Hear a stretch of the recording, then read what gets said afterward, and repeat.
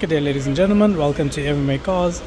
Today we have a 2016 M5 DCT. Just gonna go around this vehicle, show you how well it presents and some of the features.